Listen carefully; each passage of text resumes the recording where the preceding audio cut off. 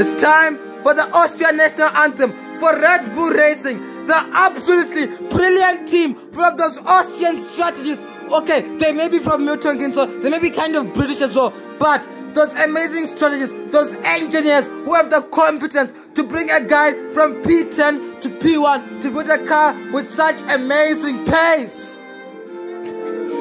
What? Huh?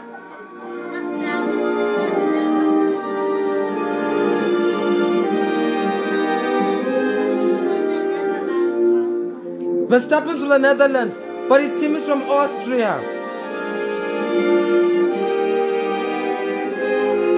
Close that door. Close that door. It's too loud. We're going to get grounded for this.